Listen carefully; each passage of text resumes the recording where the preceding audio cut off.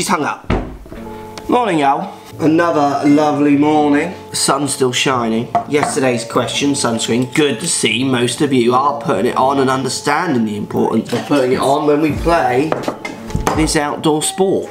So today's question, what would you rather do? Buggy, golf cart buggy, we call them buggies, you call them golf carts in the States, or walk it? Post comments down below, what's your preferred way of getting around? Obviously we're always in a buggy when we film, which people notice, and that's because we've always got the cameras to carry bags or pull trolleys with the cameras in the bag is basically impossible. It makes it a very unenjoyable day. But what would you prefer? So when me and eldest over there go and play, we just walk around and carry, but it is quite a short course. So what factors would make you change your mind as well? Post those comments down below.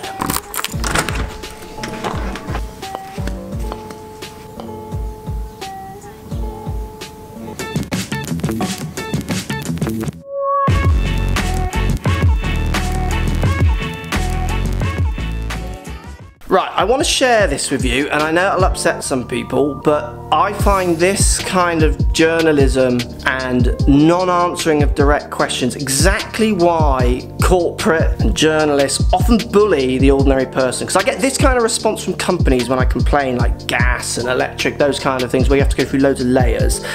Put comments down below, let me know what you think. This, this person I think is disgusting. I was just like, basically, I'm just contacting Mark from Mercury Press we're putting together this article and just like getting in touch with you for a legal right of reply and it just to give you an opportunity to respond to those claims that are in that email. Did you hear my question? Uh, I'm just literally just asking you for those comments, please. Um, I'll try again. I'll try again. This you're a journalist, I presume. Is that correct? I'm a journalist from Journalist. Okay, thank you. Um, so my question, uh, this is the second time I've asked it in this call. I'll ask it a third time because uh, I asked it obviously a lot earlier. Uh, have you responded to my emails with an email? Because you said you did and I haven't had it. I, I, sent, I replied to your email just asking if we could have that right of reply in the comments. Did, did you reply to my emails I sent to that email you sent to me, the one asking about personal contacts and embed codes and if you included the other polls?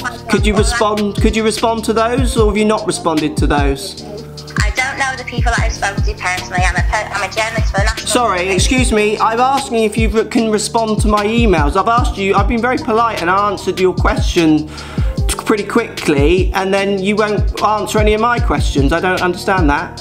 And I, I don't know the, the people personally that I've spoken to. No, no. Can you respond in an email, please? Can you email respond to them, please? Yes, please. I, I can do that. I thought you said you already had. So today's swing, he emailed me saying that he loses his balance as he comes through the ball, hits a nice little functional draw, but then has a big miss left when it does go wrong.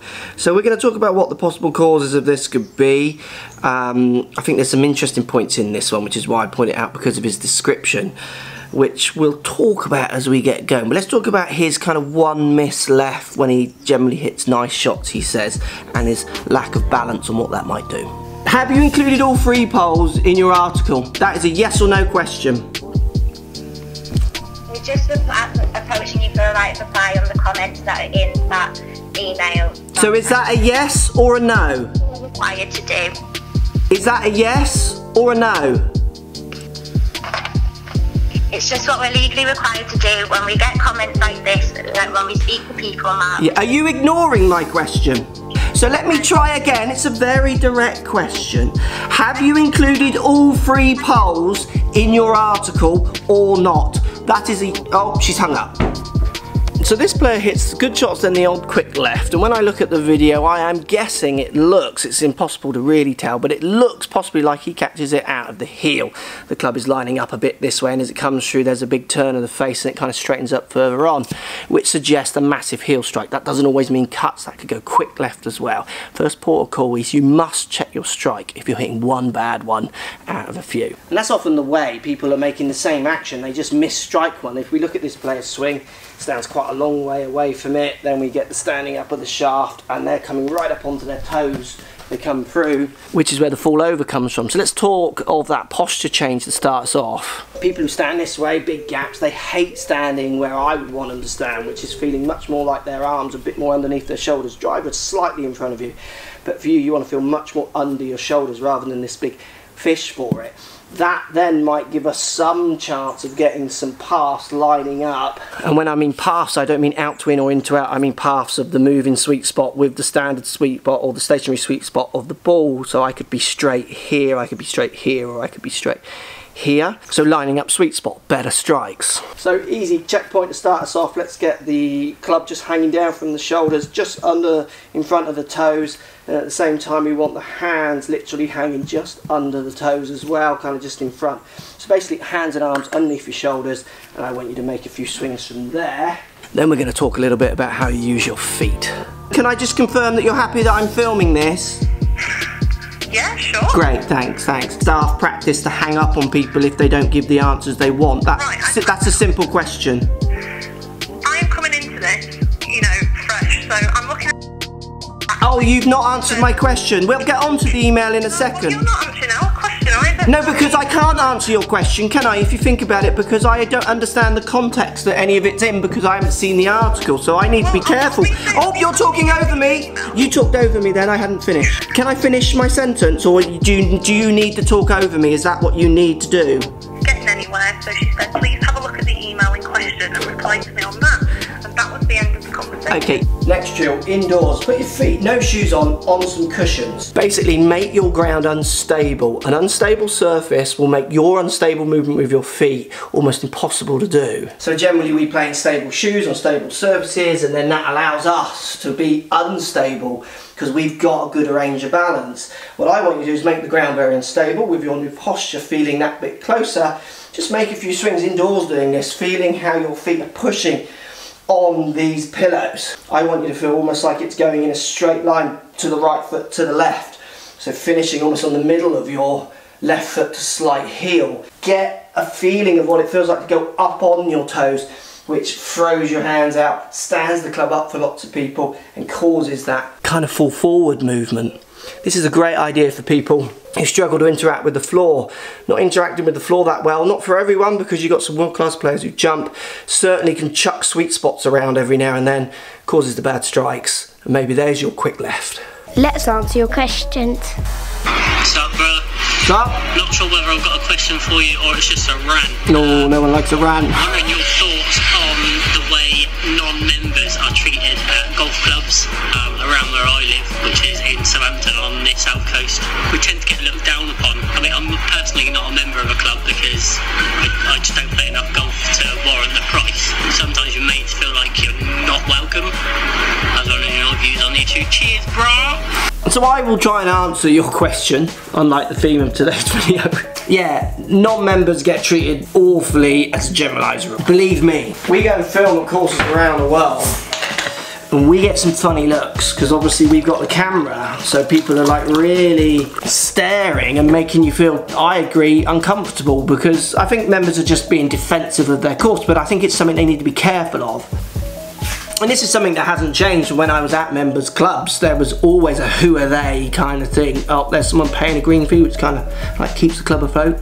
Oh, it's Thursday, is it? That's green fee day, is it? So yeah, I agree. I think it's something that clubs should work, and I think clubs that are struggling now do work. They realise that the green fee income is essential for their business model.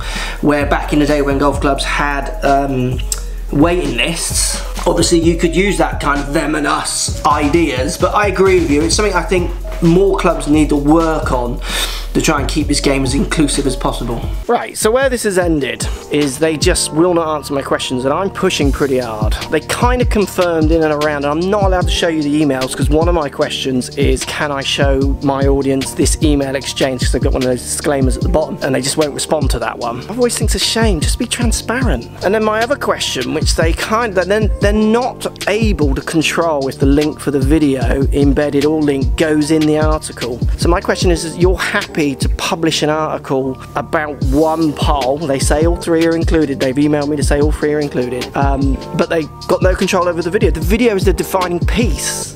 But they're still happy to write the article. I mean, that to me just seems crazy. It's like me doing a review on a product without testing the product. I mean, it's journalism, isn't it? I mean, just people wonder why I get frustrated with them. Right, last idea I really want to stress is you've got to start monitoring strike point on the face. The info you gave was all around kind of movement based ideas. You didn't tell me any of the strike patterns. got to start there. If I hit this chip and I strike it and it goes the distance I want, so there you go, that chip's gone too far, and I struck it quite well. So now I'm going to think of club head speed to control ball speed, maybe land angle, getting more height to control the distance. So I'm going to actually focus on the issue. Equally going too hard, I can't tell if my speed or not was correct. I need to then concentrate on strike.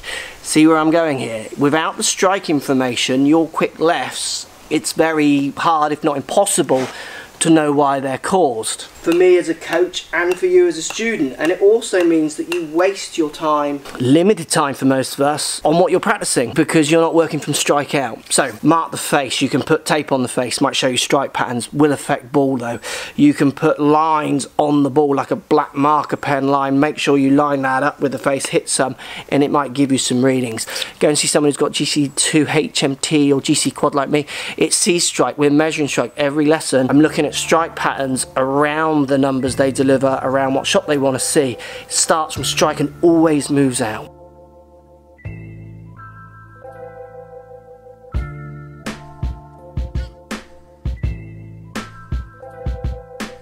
There we go. You could not script that, could you?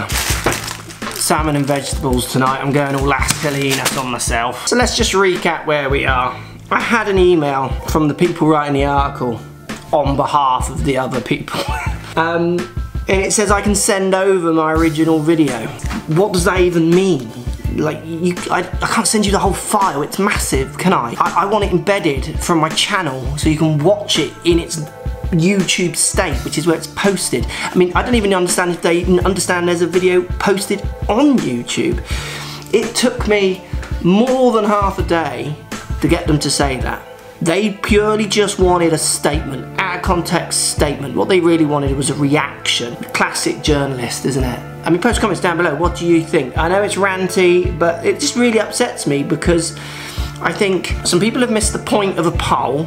They've been told to not make a point, just wait till the video, which they ignored and continued to get angry. And now they continue to get angry when everyone could see, now the video is posted, what the whole process was about, yet still they want blood, which is fine, and I'll stand by my content and happy, always have been, always will be.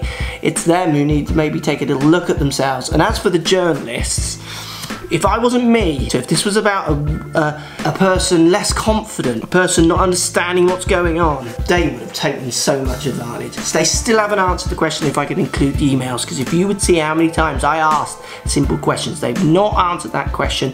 They've barely answered if the video would be included, even if I send it to them. Come on, down there. Let's hear it. Come on, it's crazy. I, I, think this is so sad of today and certainly a state that the media are in, which I can see why they're all struggling. As I say, I'm really busy. I'm what? Oh, I'm not busy. I'm not busy. I'm not busy to be personally attacked. I, I'm not busy. Is that what you're saying? Uh, I don't know what you're saying, Mark. Oh, that's the problem because you don't answer any of the questions. Right. So you're happy. Just. I would like to know. Yeah, that's standard practice. That's standard practice for you guys to hang up. So I'm kind of used to that, and it won't bode well for you on the video because it obviously just makes you look like you run away, which is a sad problem. But um, you're happy for the video not to be included in the article. Is that what you're saying? So the video that concludes the whole discussion, you're happy for that not to be included. Is that correct or not correct? No, I mean if you would like to send over the video. Oh, so I have you write the article. I have to send the video. Well, if you'd like the video... You, you as a journalist don't want to see the resolve. You want me to offer the resolve. Is that what you're saying? You just want to titillate. You don't want to see a resolve. You want me to do the work?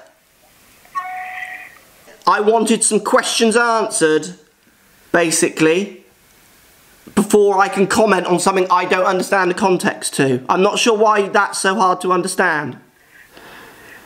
Mark, everything's outlined in the email. I'm afraid I am going to have to go.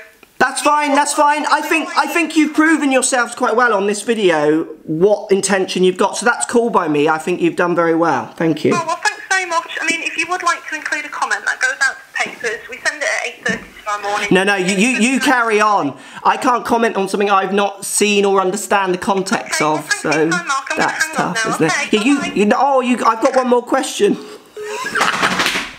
This is the problem, peoples. This is the problem.